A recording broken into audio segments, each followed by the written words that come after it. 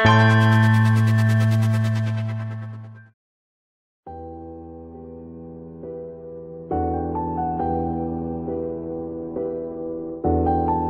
ربيع الراجل البسيط الغلبان بينزل كل يوم من بيته الساعة سبعة الصبح علشان يبدأ رحلة كفاح جديدة يدور فيها على رزقه وأكل عيشه.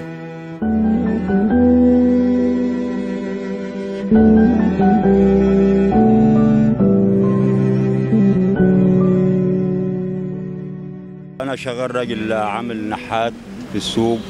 آه، أنا ليا في الشارع ده بتاع 25 سنة في الشارع ده. والجو طبعا الجو مش زي الأول الجو مريح و... وفي زبون هيجي آه، مليح وزبون هيجي وحش و... وإحنا ناس صعوبات عيال كلنا سيادتك اللي إحنا قاعدين هنا واخد بال سيادتك. يعني أنا عن نفسي معايا خمس عيال. و... والرزق على الله وهي الشغلانة دي الوحيدة بتاعتنا. يعني ملناش أكل عيش غير الشغلانة دي. في الشارع. يعني الواحد ممكن يشتغل يوم وممكن يقعد 10 أيام من غير شغل وممكن يقعد 15 يوم من غير شغل وممكن تيجي شغلانة برضه كويسة اعتراض البني آدم يعني ربنا ما ما ينساش حد. البشرية دي كلها اللي قاعدة دي كلها نفس نفس الموال ونفس المشكلة بتاعتنا. مشاكل هتحصل في الشغل. يعني في مرة أنا مفتكرها من قيمة حوالي خمس ست سنين.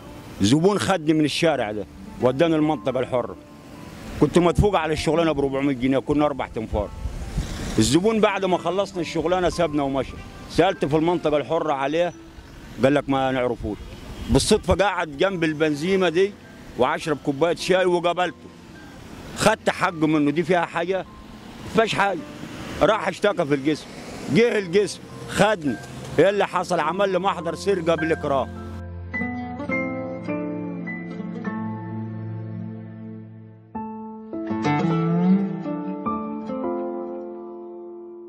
إنما الدولة أساسا لو وفرت لنا الشغل أي شغل مش لازم شغلانة نحات دي أي شغل بس يكون فيها تأمين.